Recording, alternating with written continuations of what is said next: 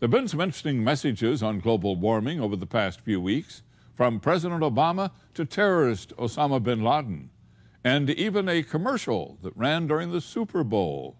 And speaking of that commercial, it may have been intended to be funny, but we're told that there are those within the global warming community that want a world just like this. If each of us has to start monitoring our individual carbon footprints, it might be a frightening prediction as well. And even terrorist Osama bin Laden has weighed in on global warming.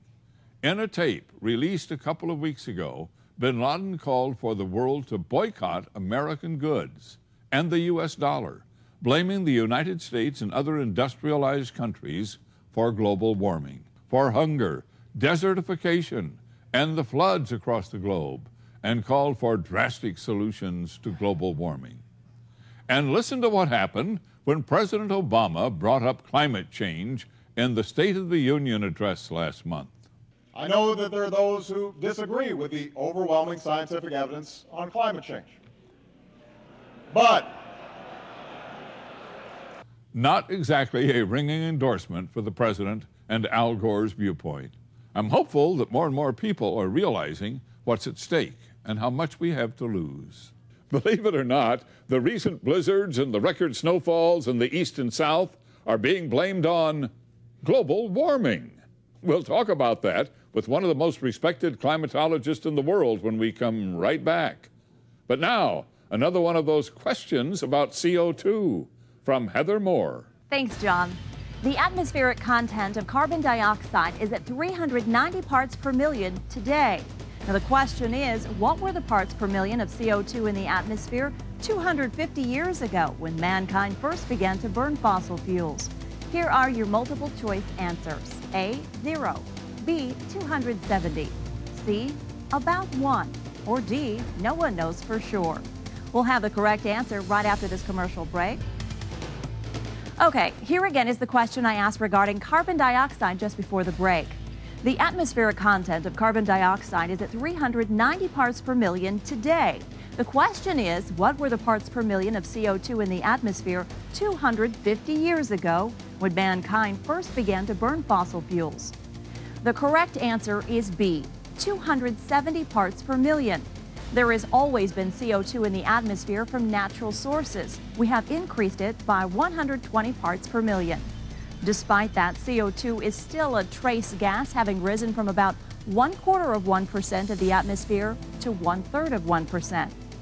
We're going to have another question coming your way in just a few minutes, but for now, let's go back to John Coleman. Thank you, Heather. Dr. John Christy is the state climatologist for the state of Alabama and a professor of atmospheric science at the University of Alabama. He's also an expert on measuring temperatures on Earth via satellite and he joins us this evening from Huntsville, Alabama. Hello, Dr. Christy. Good evening. It's very nice to have you with us. Dr. Christy, for how many years have NASA been measuring the temperature of our atmosphere by satellite?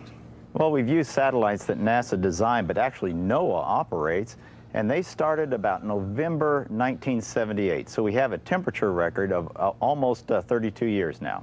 Are you saying that you actually have a correlated temperature record that runs all those years? We have a temperature record that is continuous since November 1978. Well, Dr. Christy, I guess I'm a bit confused. The NASA Goddard Institute for Space Science at Columbia University in New York City is a branch of NASA and the space agency. Uh, why is NASA doing a study of Earth temperatures up there in New York based on land thermometers instead of using the satellite data that you have been looking at? Well, uh, people do all kinds of, uh, have all kinds of reasons for doing their research, and I think uh, this group initially just wanted to have their own uh, data set of surface temperatures, and uh, we found it to be uh, deficient in many ways. You've found it to be what? Uh, we have found that the data set uh, from NASA GISS to be deficient in many ways. We've done some direct comparisons with uh, data sets of the surface that we have created from many stations, compared that directly with this popular data set and found it overstates the warming that's occurring there. Well, and straighten this out for me, please. The temperature data uh, from the satellites shows the temperature of the entire atmosphere from the surface, I think, up to the stratosphere. And uh, that's far different, isn't it, from the data from GISS, from GISTEMP, or from NCDC.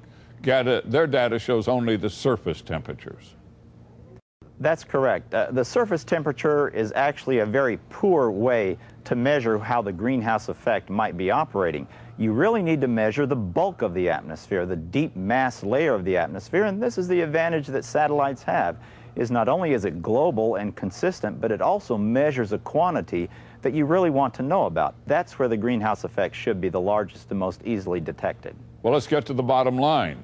In your data, do you see the greenhouse effect from carbon dioxide?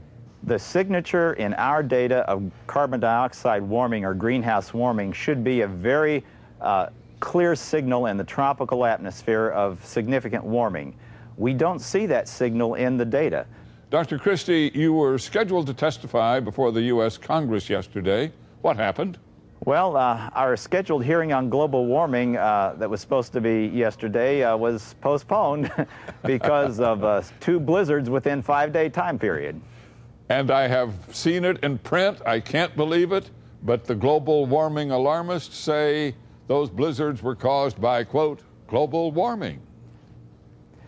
I've seen that quote too, and I'm a little surprised because uh, most people say global warming will actually reduce the kind of forces that make those storms happen, the temperature gradient. So it really doesn't make sense physically to say if there's a lack of snow, it's caused by global warming, and if there's too much snow, it's caused by global warming. I guess you can have it both ways if you really don't have a very well-defined theory. And NASA GISS recently issued a news release that the decade 2000 to 2009 was the warmest in history of Earth. Can you respond to that chart and statement, please? Well, I've heard people uh, having a young Earth hypothesis, but to say that the last decade was the warmest in Earth's history means uh, the Earth's only about seven or eight hundred years old, because there's plenty of evidence to show that even a thousand years ago, the Earth was warmer than today. And when you go back to seven, eight, nine thousand years ago, it was much warmer than it is today. So uh, I don't know where that statement came from. It's certainly not verified by the data we have. Uh, thanks for being with us. When we're taking the temperature of planet Earth, it's important to get good temperature data from the land areas. But since 70% of our planet is covered with water, taking the temperature of the oceans is vitally important. For years, ships at sea would pull up a bucket of seawater every day and stick a thermometer into the water. Slowly, various ocean buoys were added offshore, radioing in their reports. Then in the late 1990s came the Argus buoys. They sample the ocean surface temperature and then dive deep in the water and drift with the underwater currents as we're watching here. Then they resurface and radio back temperature data. This map shows the extensive network of buoys that has been deployed. but alas, the scientists behind the buoys, they didn't like the data that came back. This chart shows it. The oceans were cooling, about a third of a degree per year. This was admitted by Dr. Joshua Willis of the Jet Propulsion Lab on National Public Radio. He said, quote, there has been a very slight cooling over the buoys, five years of observation, unquote. So the Argus buoys have been another backfire for the global warming science.